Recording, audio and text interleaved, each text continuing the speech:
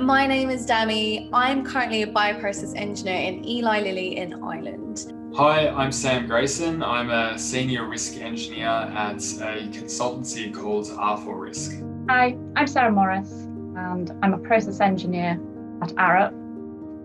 I work in the water department so, the medicines that I currently work on are in um, the oncology, the diabetes uh, function. And I'm constantly worried about making sure that the batches are getting on time, uh, meeting our quality requirements, and also having safety as my number one priority. As a risk engineer, I work with a range of clients from oil and gas to pharmaceutical to uh, food production, uh, petrochemicals, and I help those clients with their process safety and risk management concerns. I work in a range of different aspects of wastewater and clean water design, ranging from detailed design through to optimization on sites.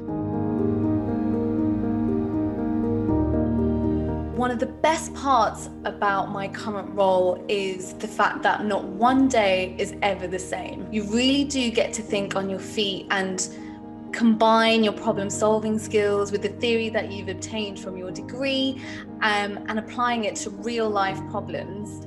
It's great to know that my role directly influences the batches that I'm in charge of.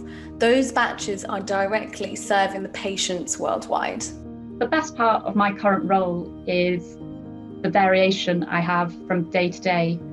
Um, some days I'll be doing detailed process designs, including mass balances and understanding how processes works. And the next day I could be on a site actually sampling sewage and doing analysis of that. The best part of my current role would be working with a whole range of companies, companies that do uh, different things from refineries, petrochemical, pharmaceutical, food production, uh, having a higher level view of lots of different chemical engineering processes, um, but also seeing the similarities from a chemical engineering point of view of what all those different companies do.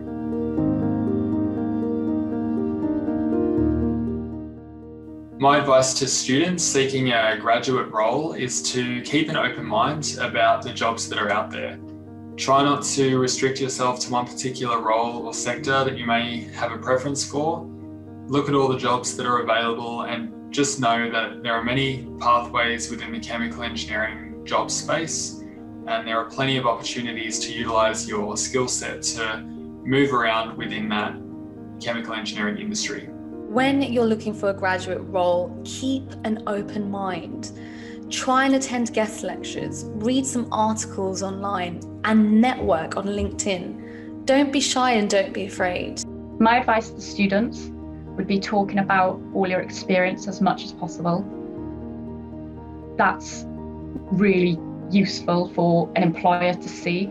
It shows that you're responsible, you've gone out of your comfort zone, you, you're punctual, you can hold down a job or a certain time frame, and that's priceless. One piece of advice though definitely get your driving license sorted if you haven't done so already.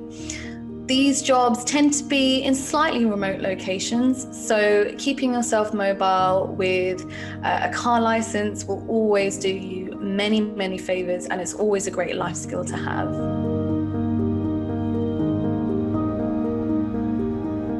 My advice to a student doing an application is think about your skill sets outside of academia. If, for example, you're part of a sports team, talk about teamwork and your commitment to that team. That's what employers look for in applications because in your day to day life, in a job, you are working part of the team. You're not an individual. And it's really important to highlight that. Firstly, just make sure you read the job ad if it asks you to provide a CV and a cover letter, make sure you do that. Make sure you provide both of those. Don't um, skip providing a cover letter. Um, it's also really good to tailor your cover letter to the job that you're applying for as much as possible. So try and include in your cover letter uh, any examples or skills that you have that directly align with the skills listed in the job ad.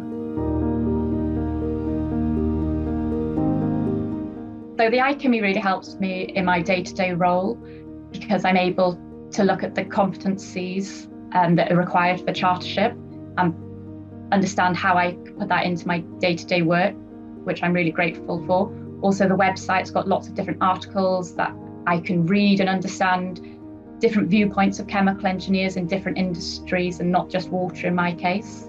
Being an IChemE member has really helped me in my current profession today. It's given me multiple networking opportunities, and I am constantly learning about the recent advances, um, such as uh, energy and fuels, oil and gas, biofuels, food industry, wastewater treatments, the list goes on. But I also came across a really valuable opportunity um, as a volunteer for the COVID 19 response team. And I also contributed to the antibody therapeutics team.